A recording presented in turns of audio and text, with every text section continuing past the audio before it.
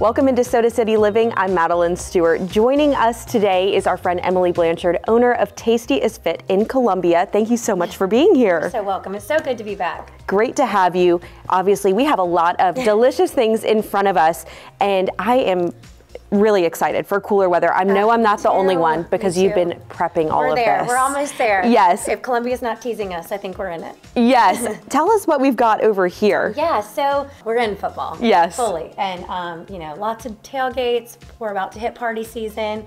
So I just wanted to bring something that's like perfect. It's warm, it's hearty, it's something that no one will know is plant based or gluten free. Yes. Um, so it's just a take on a cheesy spinach tip. This is it right here, and I'll have you dive in and take a bite in a second and give me your honest opinion. Yes, I, But- I'll say I can smell it from over here. I mean, it smells so really funny. good. This is prep, so we do a lot of special orders of these at the store because it is something that you can take anywhere, and you know you're getting good ingredients in, Right. and giving it to other people. Yes. and also you're not sacrificing on taste because like sometimes you don't want to be the girl showing up with like a hummus platter, you know? Right. You want to still have something healthy. Exactly. Um, so yeah, honestly, it's pretty easy. It's a bunch of opening things and stirring, and then the hardest part of this is probably the cheese sauce, and it's still very easy. So all you need Mm-hmm. Is a high-speed blender. Um, we have some soaked cashews, which you just soak overnight, soak for a few hours Just with water. with water. Okay. Um, leave it on your counter if it's for a few hours. Leave it in the fridge if you're doing it overnight. Okay. We have some um, unflavored plant-based yogurt. You can use anything. This is um, cashew yogurt. Okay. And the trick to making this um, orange is some steamed carrots, uh, Ah. steamed onion, and garlic.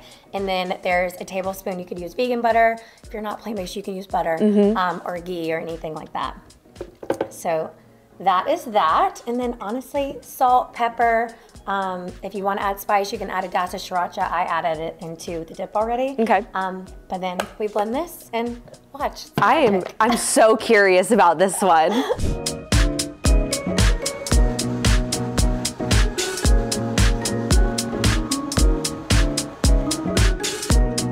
Yeah, look at that. Isn't that crazy? It is. And then here, I'll make sure I don't get the.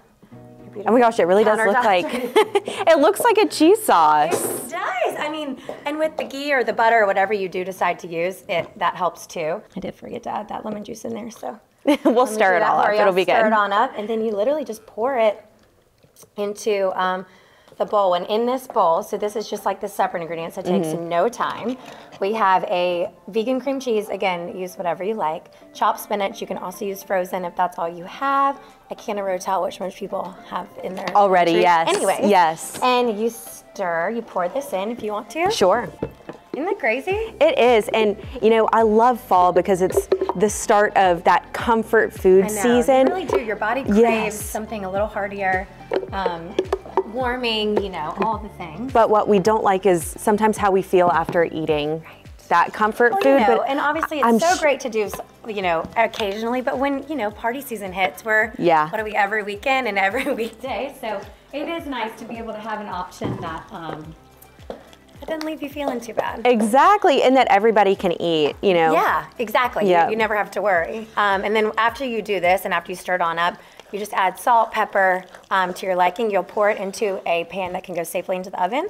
Um, I used a cast iron, and you bake it at 400 and um, Super easy. Look 30 at minutes. that. Take it warm to your party, and you'll. I promise you, people request this. It smells You'll so good. and like you said, it's not hard to make. It's very simple. Takes a little bit of It's prep. It's a little intimidating with the blender. People don't like to whip out a blender, but Yeah. honestly, it's so easy. I mean, if you think about it, a lot of recipes use maybe a hand mixer or a KitchenAid Right. mixer. Swap that out for the blender. Right. Just think about it. It's A hundred basically the same thing. Yeah, and um, you know the best thing about it is if you only want to go as far as the cheese sauce, you can use that as a mac and cheese sauce and add it to your kids' noodles. Oh my dip broccoli gosh. in it. Yeah. So if you want to go halfway, you can. Yeah, so what do you say we give it a Yes, try? I'm so excited. please. Here, also these chips to not ruin your healthy um, dish. Yeah. These are by a brand called Siete, and they're super clean, made with avocado oil. Oh, And, um, interesting. yeah.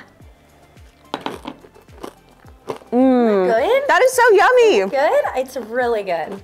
Nice and warm, and when you know it's piping hot in the oven, it's like super cheesy from Mm-hmm. the cream cheese, and it's just really good. Oh my gosh, that's delicious. Good. So tell us a little bit about Tasty As Fit. You create all of these recipes. Yes, yes, believe it or not. Um, yeah, so we've been in business about um, six years and like fully uh, we started as meal prep but when we started as grab and go it's been about six years Mm-hmm. and yeah i um, my main role now is just staying on and creating all the recipes and um, you know have an incredible team that runs it day to day. And so it's been it's been really amazing. But everything is plant-based and gluten-free. Yes. um, and we don't use any weird oils or anything like that. Um, we're kind of annoying about it so we, No, I love that. everything we make is from scratch Yes. is- it is wonderful And every time I go in, you list the ingredients on all of the products so you can rest assured you're not going to ruin your diet Right. and you're going to get something delicious too. Right. And um, you do have a lot of recipes online as well. Yes, we post, I would say 99% of our um, recipes, or the ones that I'm creating, go online too. So,